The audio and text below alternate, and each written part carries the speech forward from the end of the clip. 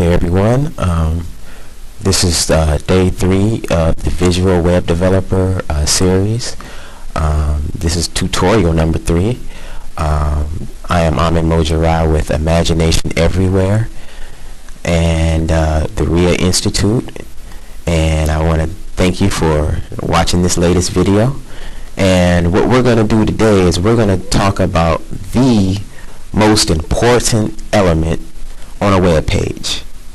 Um, if you can think about it uh, for a minute while I open up uh, Visual Studio and let's open up our most recent project which was the tags and properties solution.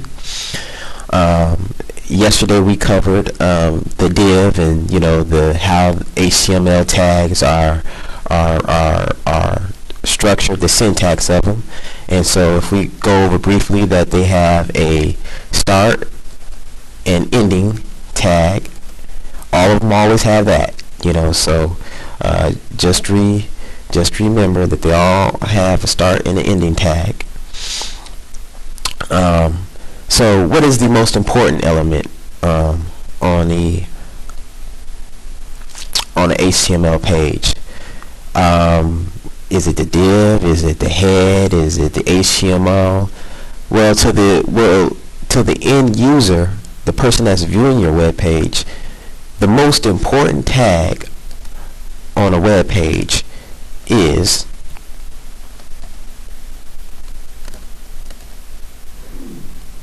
the first tag you'll see in IntelliSense, which is the anchor tag.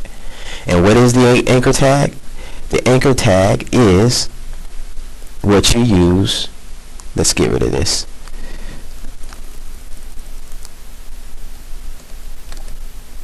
to create a hyperlink.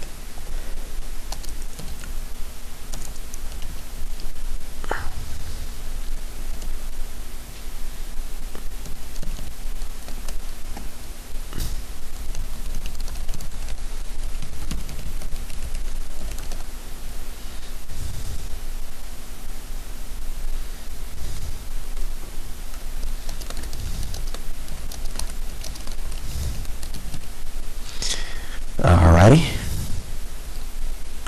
So if we go ahead and save that and we can go ahead and run this in the browser. Look at this in the browser. There's a hyperlink. A link a link to my website. So if I go ahead and click on it,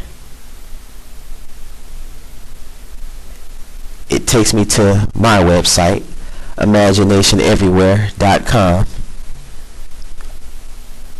If you all haven't seen my website, this is my website, imaginationeverywhere.com. Uh, just to let you know. Alrighty. Um, let's get out of there. And so uh, we can take the browser back, but this is basically a, a hyperlink. So if we go back into Visual Studio and we examine the elements of a hyperlink, uh, what we can do is we can examine the elements of a hyperlink. The anchor tag is has uh, two features.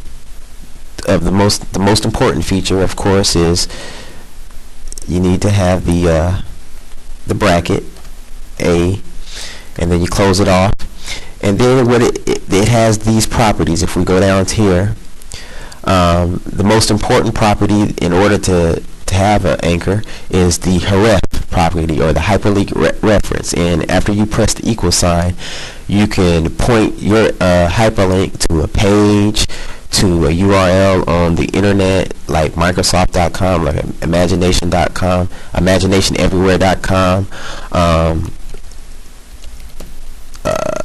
you know you have to put the appropriate um, information in there. Um, of course uh, you can go http colon backslash backslash Microsoft. It, it, you're not required to put the www Microsoft.com and then the other feature of the hyperlink is you need to put some text there. So we can put this and you put that in between the tags. This is Microsoft's website. website. So if we go back and we go ahead and save that and we refresh the browser, this is Microsoft's website. And it's, well, I guess I spelled it wrong, but it takes you to a website basically. So, um, you know, creating a hyperlink, you know, if you think about it, is so important that, you know, when you first get your computer, you open up your browser, the first thing you do is you go to Google or Yahoo. All they are is, a, is websites with hyperlinks on it. And you have to know how to create a hyperlink uh, from scratch. I know there's a drag and drop concept, and in Expression Web, you can uh, do an editor box and you know create a hyperlink by just right clicking and doing this and doing that. But this is the anchor tag. So you know, um, and what I'm going to do is I'm going to create, uh, well, produce uh, another video today uh, exploring one other property of the hyperlink, just to show you the power of the hyperlink. So thank you for watching this video and again you know this is the first tag that we're learning about the anchor tag um, so uh, and also I wanted before I finish out um, I wanted to take you also make sure you take a look at um, this website right here WC3 schools um, www.w uh, 3 schools.com. Um, and this website um, basically will teach you everything you need to know about HTML. Um, so please uh, go there and you can look at the anchor tag and you can look at the attributes and everything that is involved in it. Um, and uh, we're going to go explore one more important attribute uh, using another HTML tag within the anchor tag. Um, so uh, I look forward to seeing you in the next video and thank you for watching.